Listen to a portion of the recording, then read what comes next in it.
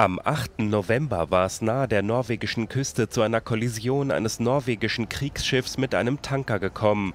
Die Fregatte wurde dabei so stark beschädigt, dass sie auf Grund lief und fast völlig versank. Die Besatzung konnte gerettet werden.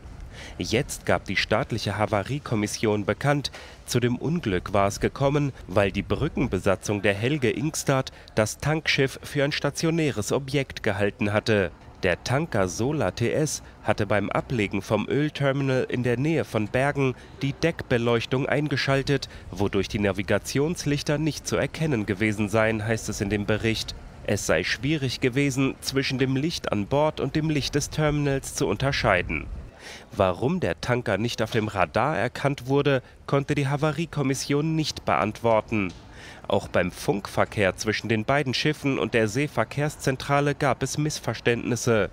Als die Sola TS die Fregatte vor einer Kollision warnte, glaubte die Besatzung des Militärschiffs, mit einem anderen Boot zu sprechen. Der Funkverkehr sei ein Aspekt, den man intensiver untersuchen wolle, so die Kommission